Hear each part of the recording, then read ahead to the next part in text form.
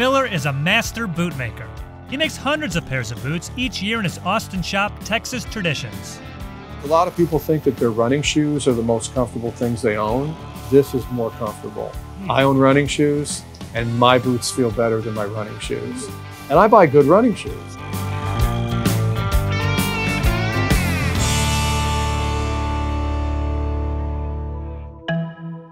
They start at $3,000. The wait list is so long, it takes four years to get a pair.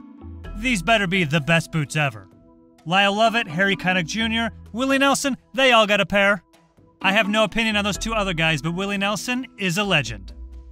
So why so much? And why do they take so long?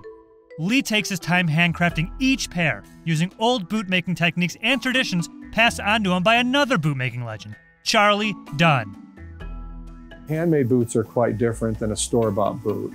So everything from the last, uh, which is the shape that the boot is made on, to all the different methods of construction, we're kind of like the Ferrari.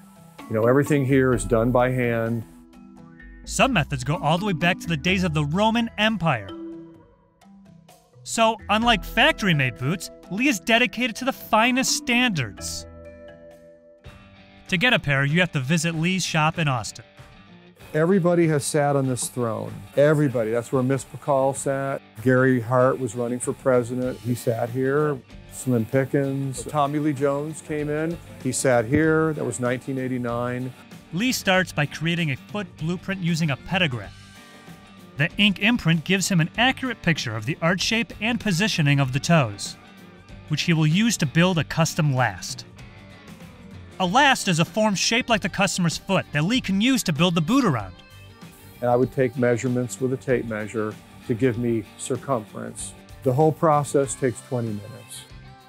Customers work with Lee on the boot design, picking specific elements they want, including leather, color, toe style, and heel. Texas Traditions has a wide variety of leathers to choose from. I didn't know there was varieties of leather. So we have leather here from all over the world. This is from Italy. This is kangaroo skins. Uh, it, it's very, very strong. Makes a wonderful pair of boots. So we use a lot of kangaroo. This is bull hide from Spain. We use a lot of pigskin. And pigskin is incredibly tough. Water buffalo. This is French calf here. We use, of course, alligator and crocodile. This is white alligator. Let's look at some ostrich. It's a product of South Africa.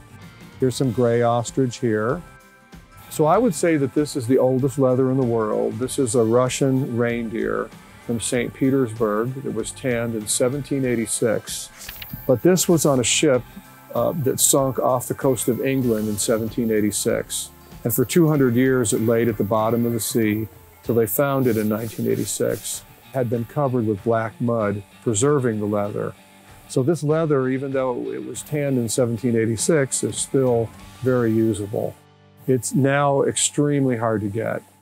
Once the last is made, Lee attaches a leather insole. He nails down the insole temporarily and trims it into shape.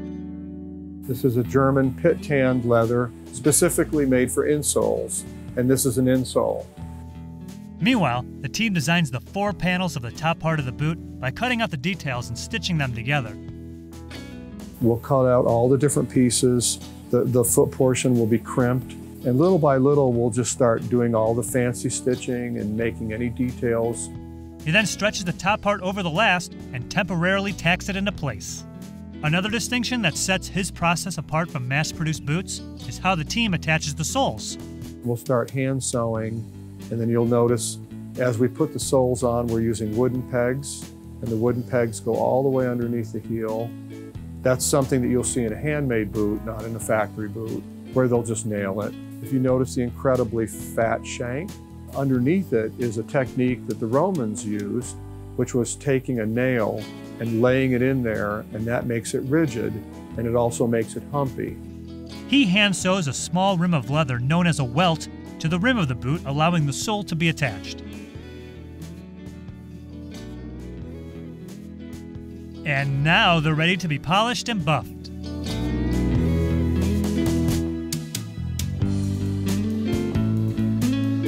The standard handmade boot takes about 40 hours to make.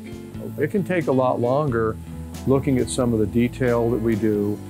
You know, if it's a fairly simple boot, 40 hours. But if it's a very complicated boot, it might take you 60 or 80 hours. Lee makes boots for anyone. That is, anyone with a few thousand dollars to spare. Depending on your design, stitching, and leather choices, it can really start to add up. Crocodile is the most expensive leather that we offer. And so a boot like this would probably start at $5,000. Before Lee took over Texas Traditions, it was run by bootmaking legend Charlie Dunn. He's known as the Michelangelo of cowboy boots. I think it was 1973.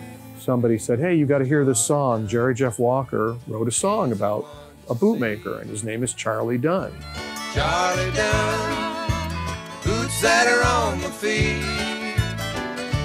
In November of 1977, Lee went to work as an apprentice for Charlie. Lee worked alongside him until his retirement in 1986. Lee and his wife, Carlin Miller, took over the business. Today, Lee and his team are keeping Charlie's bootmaking traditions alive and well.